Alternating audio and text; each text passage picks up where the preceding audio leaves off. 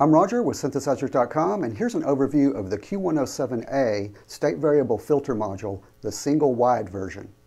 Okay, here's the Q107 filter mounted right next to the 107A.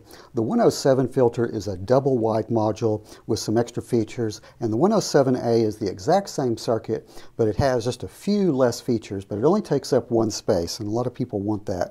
So let's talk about the stuff that you give up to get a single wide filter here. And let's start with the outputs. We have high pass, band pass, and low pass.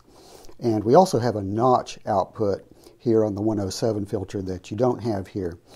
In the mixer section, uh, the 107 has an attenuator for one of the inputs, and the mixer section on the 107A uh, just has the two inputs. One of them doesn't have an attenuator like it does over here.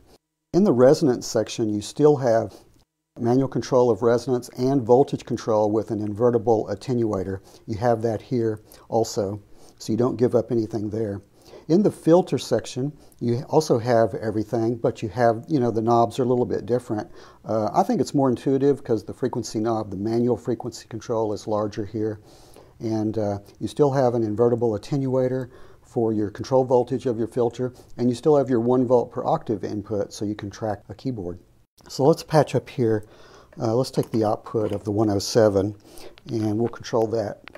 Uh, let's take the low pass output and we'll control that with an envelope generator, the 179.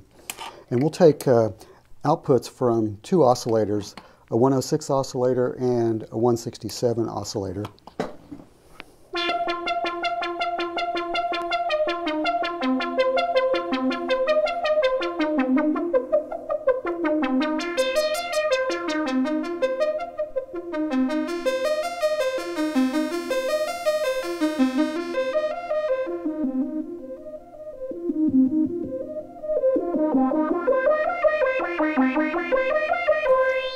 Now let's switch all that over to the Q107A. Here's the signal inputs and they're mixed together. So it has an internal mixer just like the 107 and we'll use the low pass output for this example.